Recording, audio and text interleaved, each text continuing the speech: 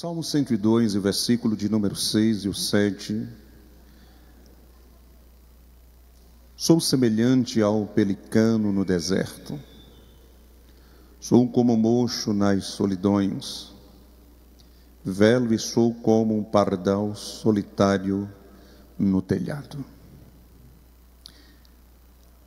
Bendito Deus, maravilhoso Pai, em o nome de Jesus, Queremos atrair agora, Senhor, a tua atenção e pedir que teu Santo Espírito fale fortemente aos nossos corações.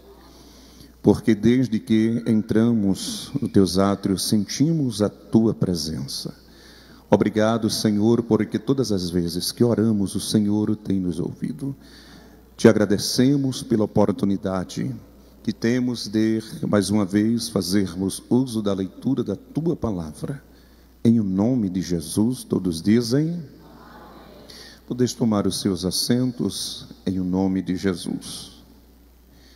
Queridos irmãos, já fazem uma semana que estamos aqui na Bahia e louva a Deus porque este lugar é um lugar acolhedor é um lugar de pessoas que nos abraça de forma especial.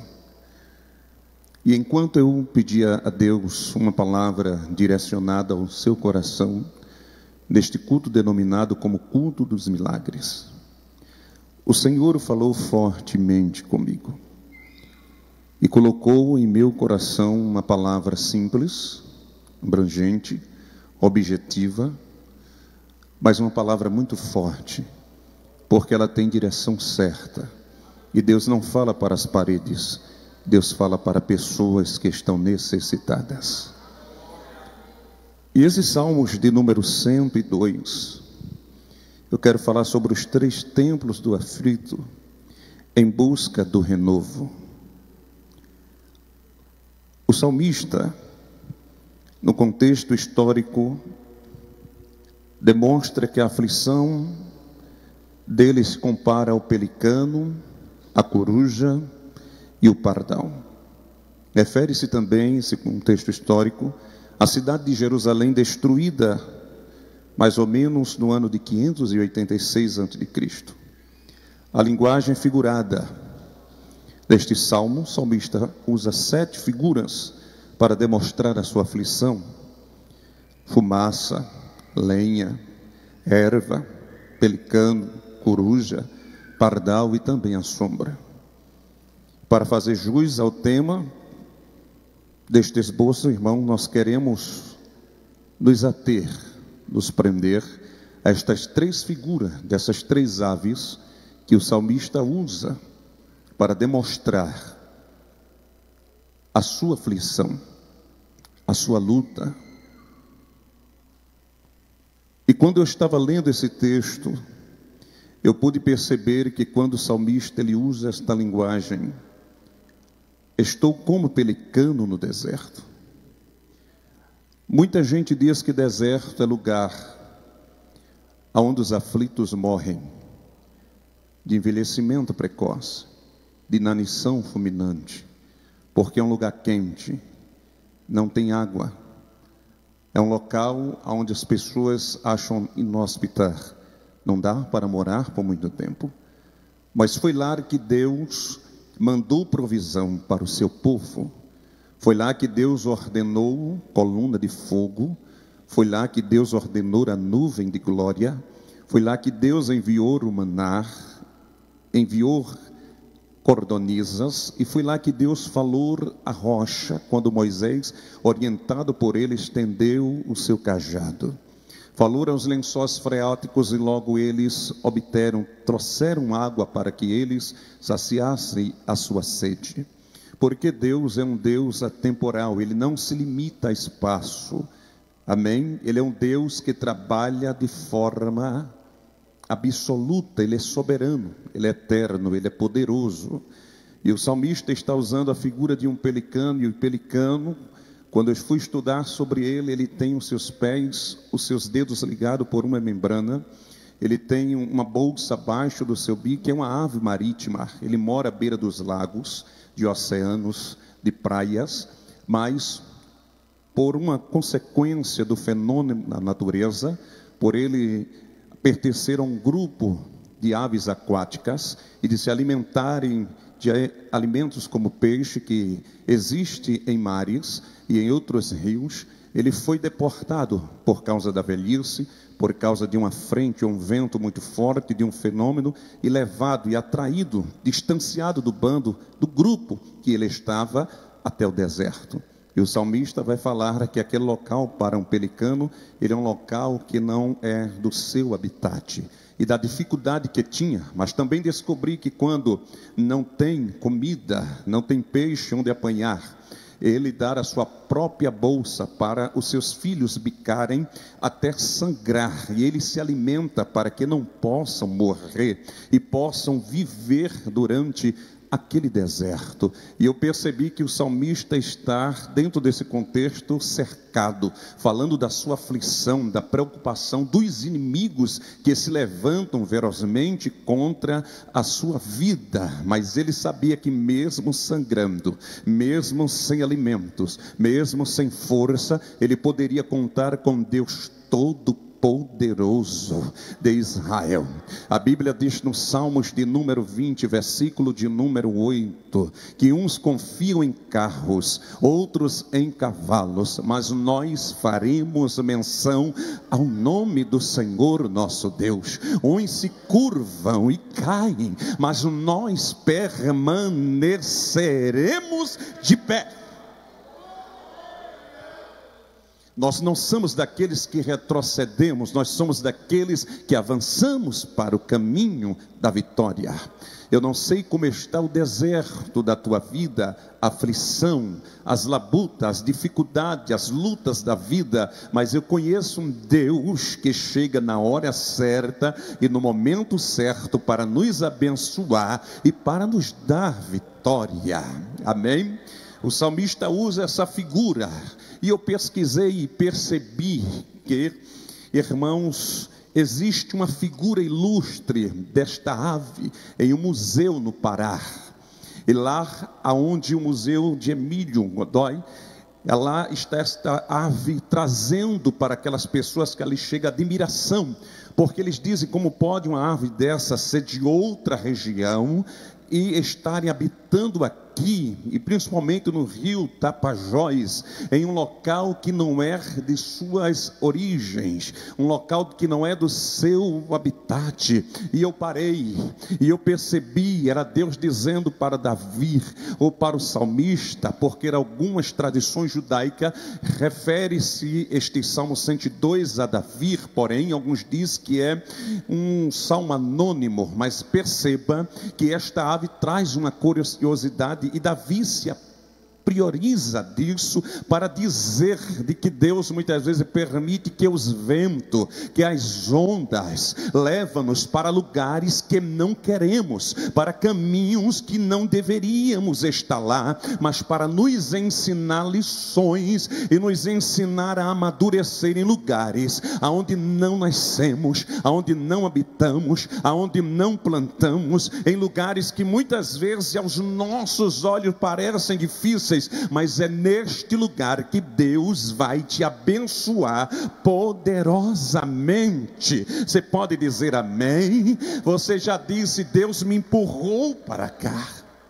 Você já disse, Deus me colocou neste caminho. Você já disse, eu não sei porque eu moro nesta cidade, porque faço parte nesta igreja, porque eu estou neste lugar. O que é que está acontecendo? É Deus dizendo, eu te trouxe para te abençoar, para te fazer crescer e amadurecer na minha presença. Vai doer, vai sangrar, vão ser dias intensos, mas não faltará a presença presença de Deus na tua vida, diz o Senhor dos Exércitos. O salmista usa uma segunda figura, e esta figura que ele usa é a figura de um mocho, de uma coruja. E a coruja ela habita em lugares como ruínas, em lugares altos, sombrios, noturno, em lugares que muitas pessoas não querem andar. Elas têm a capacidade de audição e o volume da sua visão muito grande. É um mito macabro para muitos, porém a pedagogia descobriu da sua sapiência, da sua sabedoria, das suas qualidades inerentes a ela. Ela não dorme durante a noite.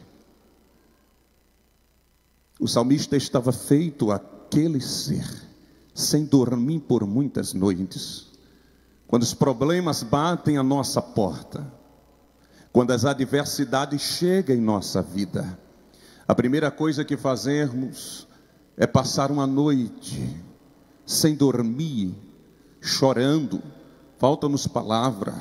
Algumas pessoas ficam ansiosas, outras entram em depressão, outras ligam para pessoas, procuram amigos, vão na casa de profetas, procuram algumas pessoas para solucionar os seus problemas e não encontram. E eu descobri que a noite é o fim de um dia, mas também é o início de outro. A noite é a parte mais escura que é a meia-noite, mas é neste momento que Deus ele age em nossa vida, porque o texto diz que o choro dura uma noite, mas a alegria, ela vem ao amanhecer. Amém? Eu não sei a noite que você está passando, mas eu conheço Deus que vai te arrancar dela para te levar para um dia de vitória na presença dEle. Paulo teve uma noite que depois que ele foi convidado pelo Espírito Santo, constrangido a atravessar a Macedônia e passar para o outro lado, e a primeira cidade era Filipos, onde tinha uma colônia, e ali existia uma mulher conhecida chamada Lídia, vendedora de púrpura, que logo deu crédito à mensagem que ele, ele pregava e constrangiu para ir à sua casa, e ali ele orava com o seu amigo e com algumas mulheres que habitavam estava ali, e por causa de uma grande obra que ele fez naquela região, ele vai dar, através de uma libertação, de um espírito de adivinhação que existia em uma jovem, ele vai dar prejuízo a alguns magistrados que existiam naquela cidade, e logo procuram as autoridades, eles levam, irmão, alguma chicotada, eles apanham, e depois vão ser presos, e perto da meia-noite, a Bíblia diz que Paulo tinha de tudo para não louvar, para não orar, para não agradecer a Deus, mas ao contrário, ele disse: A minha voz não pode ser detida neste lugar, porque o meu corpo está preso por esta situação, mas eu estou livre. O Evangelho de Jesus me libertou e eu posso cantar e eu posso orar, e eu posso buscar a presença de Deus. E quando eles louvavam e cantavam, o cárcere estremeceu, e a glória desceu naquele lugar, e as algemas foram quebradas, e o nome do Todo-Poderoso foi glorificado. Algemas já estão sendo quebradas, terremotos estão acontecendo, a graça está enchendo esta casa, e a glória de Jesus Cristo vai tomar a tua vida aqui esta noite, em o nome de Jesus.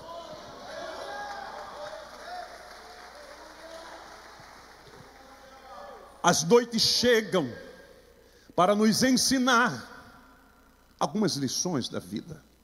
Paulo era conduzido em uma embarcação para ser julgado. E dentro dessa embarcação ia com ele 276 marinheiros.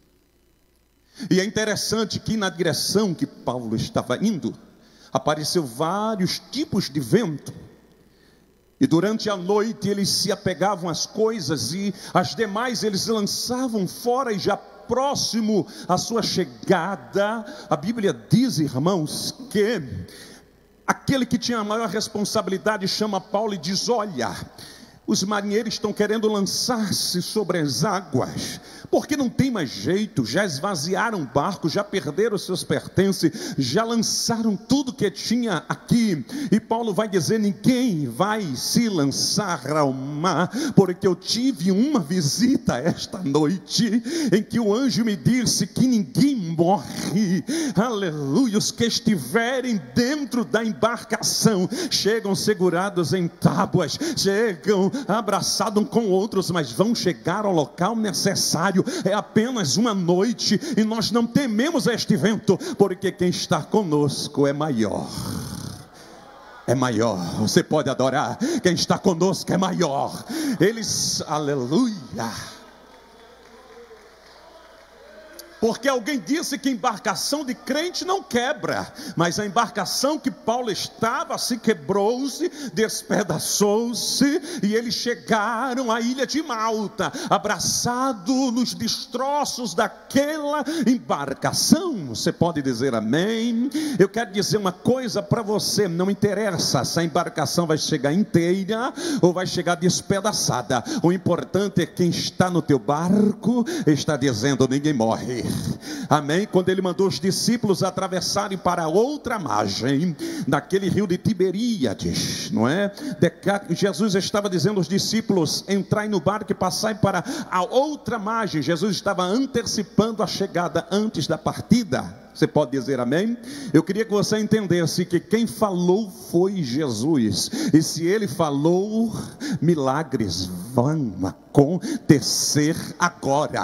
Agora, não é amanhã, é agora. Milagres estão acontecendo. Quando Paulo chega na ilha e alguns estão olhando para eles, acender uma fogueira para aquecê-los mas Paulo sentiu ainda a necessidade de apanhar alguns gravetos, alguns, algumas madeiras, algum resto, para fazer um fogo ainda maior, e uma víbora lança-se a sua mão e morde-a. E eles vão olhar e esperar alguns minutos para Paulo morrer, e Paulo não morre. E eles começaram a dizer: tinha alguma coisa errada com este homem. Este homem não é da terra. Que maldição é essa? É não, meu irmão. A víbora pode até morder, mas o sangue não penetra o veneno da víbora. Por porque nós temos o DNA de Jesus Cristo de Nazaré. Você pode dizer amém por isso? Tem muitas víboras mordendo tentando te matar, arrancar a tua vida, mas a tua vida pertence àquele a que a deu, e você não vai morrer, você vai chegar na hora certa, no momento certo, para a glória do nome de Jesus.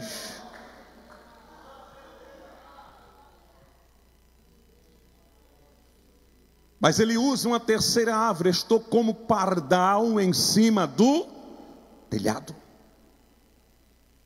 Na América normal nós vemos pardais fazerem ninhos em árvores, fazerem ninhos em edifícios. E a Bíblia diz que ele está em cima do telhado e eles saltitam. E quem está em cima do telhado não tem equilíbrio, não tem estabilidade. Quem está em cima do telhado pode cair a qualquer momento e quebrar o pescoço. Ele estava dizendo: Eu não tenho mais equilíbrio emocional, a minha estabilidade foi arrancada de mim. Eu estou distante da minha família, distante do meu povo. Eu estou cercado pelos inimigos. Mas eu me lembro de um Deus que disse a Ezequiel: Poderão reviver, Ezequiel, esses ossos? Senhor, tu sabe, então profetiza sobre eles. E houve um grande rebuliço e ossos se ligaram aos seus ossos e se fez um grande exército, e eles ficaram de pé. E depois ele profetiza, e crescem nervo, carne, pele, e eles ficam de prontidão de pé um grande exército, e logo se vê que já há equilíbrio, que já é estabilidade, que já é visibilidade. Quem olhava via caixas cranianas, torácicas, via somente aquela ossada, mas agora estão vendo aqueles corpos, esqueletos cobertos Deus está dizendo para o salmista: Eu vou te dar três coisas neste deserto, não se preocupe, eu trarei equilíbrio, estabilidade e visibilidade. Você pode dizer amém? Talvez você está com falta de equilíbrio no seu casamento, na sua empresa, com as suas amizades, alguma coisa afetou a sua mente e levou na direção do desequilíbrio, você não consegue ficar de pé, anda chorando, batendo cabeça, não consegue enxugar as suas lágrimas, só anda por aí vivendo uma vida com cheias de dificuldade, porque esses dias que nós vivemos, as doenças psicossomáticas têm roubado a paz de muitas pessoas, mas nesta noite eu vim trazer uma palavra para você que Jesus está te dando equilíbrio emocional, está trabalhando na tua vida e está fortalecendo a tua alma.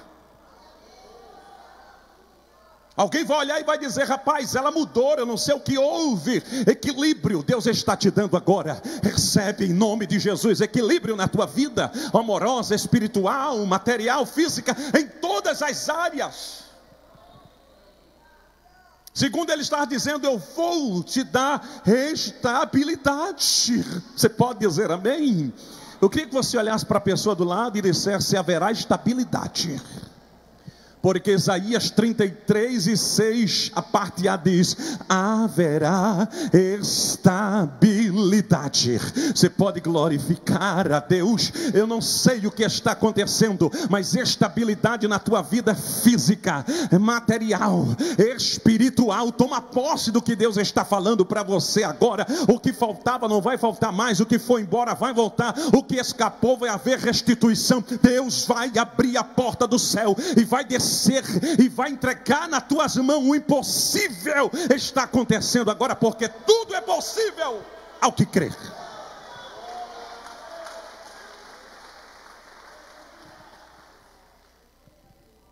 A terceira coisa que ele vai fazer é te dar visibilidade. Você pode dizer amém?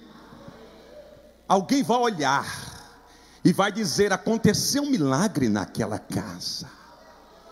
É notório que estamos vendo a olhos nus. Eu vejo algo mudando, algo foi acrescentado àquela família. Você pode dizer amém? Deus está quebrando agora as dificuldades, arrancando as ruínas, tirando os troços, arrancando o que alguém jogou, o que passou em rosto, disse que você não cresceria, nem sairia do lugar, e era o fim. Hoje ele coloca um ponto final na história história do inimigo, mas colocam travessão e começam uma história nova na tua vida. Haverá visibilidade, você acredita? Levante a mão para o céu e adore a Jesus de Nazaré.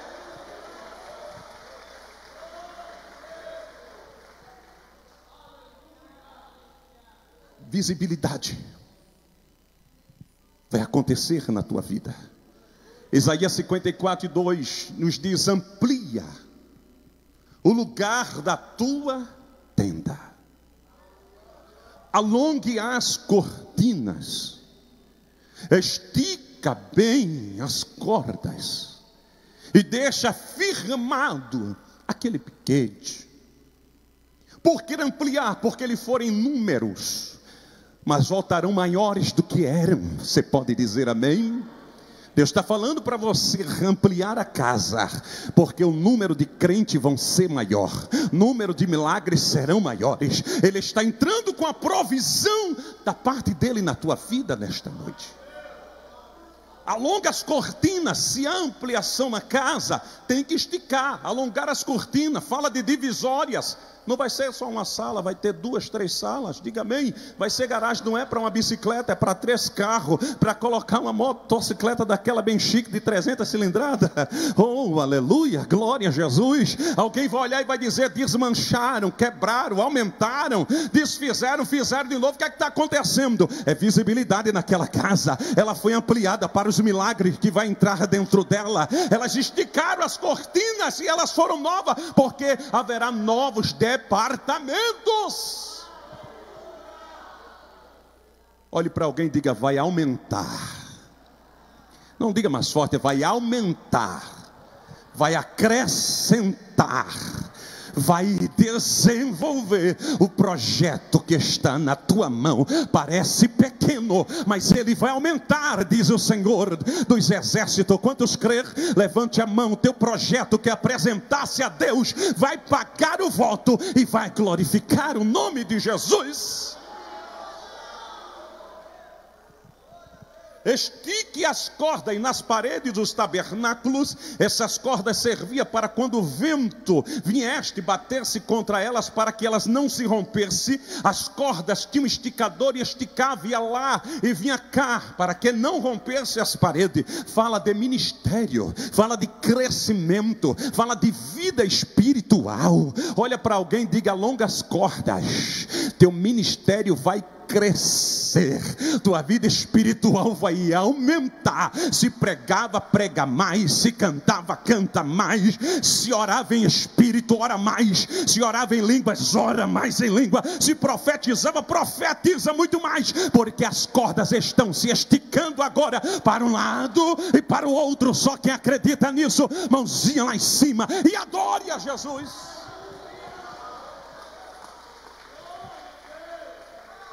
Mas tem que estar firmado, porque não adianta ter corta com esticadores se não tem base, se não tem firmeza, se não tem raízes. Jesus teve que escolher entre a traição, a dor e a cruz. Quando ele saiu do Getsemani, do lugar da oração, o traidor já lhe esperava. Ele viu as dores que sentiria pelas ruas de Jerusalém. Ele sabia do que lhe esperava na cruz, mas ele seguiu e avante. Na cruz do Calvário, depois de todo o processo, Jesus, todas as vezes que orou, orou, Abba, Pai, a ti eu oro. E a única vez que Jesus vai olhar para o céu e não vai dizer Abba, é quando ele diz Elohim, Elohim lama sabachthani, Deus meu, Deus meu, por que me desamparaste? E houve um silêncio. Jesus sabia que o fim chegou. Aí ele usa Abba. A ti entrego o meu espírito e o Pai lhe atendeu. Você pode dizer amém? Olhe para alguém, diga: vai ter traição, vai ter dor, vai ter cruz, mas o Pai estará lá com as mãos estendidas, dizendo: sofre como pelicano, sofre uma noite como mocho, passa pelo processo do pardal, mas hoje o Senhor está renovando uma alegria profunda na tua alma e dizendo: se prepare, porque você verá coisas maiores, poderosas e fiéis da parte de Deus na tua vida. Você pode adorar Jesus de Nazaré. Não desista. Deixa eu falar algo para você, abrir um parênteses. A minha filha, com cinco anos de idade, sofreu com uma enfermidade, uma forte dor em sua cabeça, e logo levamos em um especialista Fizeram uma radiografia, um tumor no tamanho de uma laranja. E a médica disse: está muito avançada, mãe, pai, já está no estado terminal. E muitos diziam: vocês só querem saber de igreja, esqueceram da saúde da menina. Eu fui ao trabalho e disse à minha esposa: Lislaine é filha da promessa. E eu vi ela grande cantando na igreja. Ela não vai morrer e nem vai passar por este tratamento terrível foi trabalhar e de lá eu fui para o templo central em Recife. E quem estava pregando neste dia foi o pastor Josué Brandão. E a mensagem foi: Jesus é o mesmo ontem, hoje e eternamente. E quando ele falou Jesus hoje, ele cura. E eu tomei posse daquela palavra. Naquela noite, Jesus batizou muita gente com o Espírito Santo, curou muitas pessoas. Eu era apenas um irmãozinho sentado lá, um servo, esperando o milagre descer do céu. E enquanto eu me alegrava, Jesus olhou para mim do céu e disse: Já curei a tua filha. E um dia, oh, aleluia.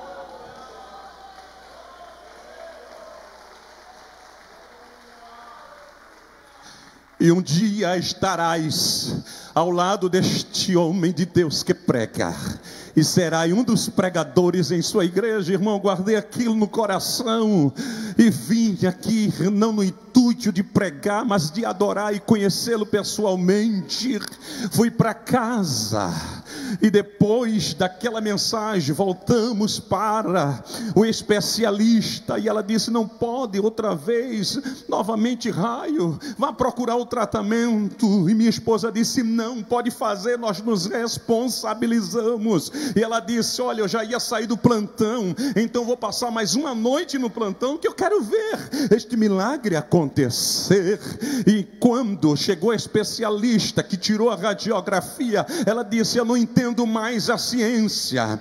Um tem e outro já não tem. Aqui tem um tumor e aqui já está limpo. E eu disse: Foi Jesus de Nazaré que fez o milagre na vida da minha filha. Tem 19 anos, canta na igreja, glorifica Jesus e exalte ao Senhor. Milagres estão acontecendo agora. Abre as tuas mãos ao céu, recebe milagres e glorifica Jesus.